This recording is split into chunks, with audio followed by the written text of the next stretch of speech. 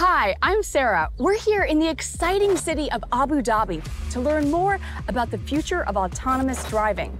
Did you know Abu Dhabi is home to an exciting experiment in self-driving cabs? I wanted to see for myself what it feels like to sit in an autonomous taxi and to meet the folks behind this cutting-edge project. And looks like my taxi's here now. Hey, there's somebody in here. I thought this was supposed to be an autonomous taxi. Are you the chauffeur? It's for safety. For safety? Yeah. Okay, but hands off the wheel. I want a fully autonomous experience, please. Pretty crazy to see that steering wheel turning itself. Wow. Up next, we'll be meeting the CEO of Bayanat, the company behind TXAI. They just finished their first pilot project here on Yas Island, and they've got big plans for the second half of 2022. I can't wait to find out what they're up to.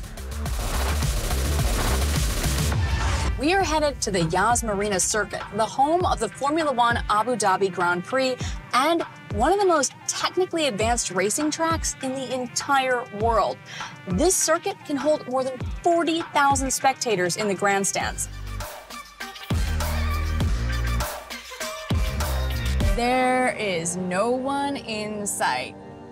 Course is pretty empty, although I do see one person. Hi, you must be Hassan. Hi, Sarah. Hi. Nice to meet you. Nice to meet you. How was the ride? The ride was amazing, so smooth. Tell me about the test phase. Phase one, which was successfully implemented last year, had a fleet of five cars, uh, nine hotspots in Yas Island, fully level four enabled cars, but with uh, a safety officer in each car. And we successfully completed our phase, exceeding even our expectations and number. So, what still needs improving here? So, we're expanding geographically to include Yas Island along with Saadiyat Island, and we're expanding our fleet to include more uh, taxis and maybe some minibuses and other vehicles as well. I know that there are various technologies that go into autonomous driving. Which one are you relying on? We went with the entire spectrum of sensors, mainly uh, leveraging the capability of LiDAR, which gives high precision data, ensuring more safety to the passengers and to ensure that we can go fully level four without any driver, without any challenges or any, any regulation principles from the government side. That's pretty exciting. I'm going to have to come back when that happens. Yes, we'll hold you to that as well.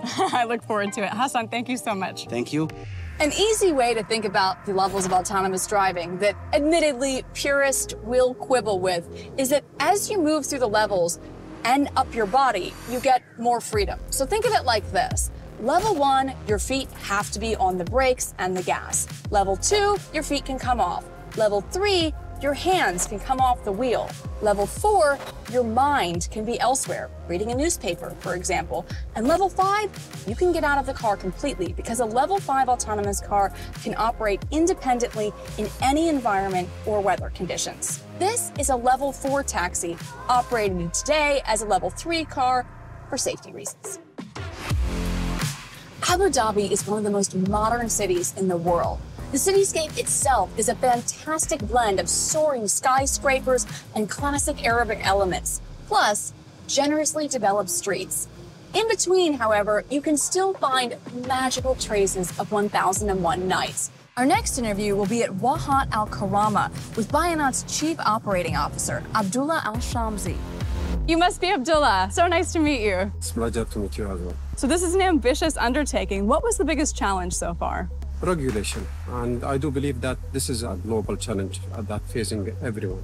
Tell me about the response from users. How did they respond to seeing self driving taxis appear on Yas Island? We almost doubled the number of orders, so they were very excited. Everyone was very interested in trying the new technology. What was the collaboration like with the regulators here in the UAE? Very supportive. This is something they were all honestly uh, having it on their mind, but they need the push, and we support them and assist them on make this happen. Thank you so much for You're your time. welcome. Thank you for Thank having you. me. Wow, what a sunset. A real wonderful payoff after our whirlwind tour through Abu Dhabi and the future of autonomous driving. I hope you enjoyed our little road trip as much as I did. To learn more about the future of autonomous driving, join us on the IAA Mobility Visionary Club. We're bringing together industry insiders, tech leaders, and suppliers to talk about where the future of mobility is headed and what we can expect next. For now, though, it's time to say goodbye to our taxi and see you next time.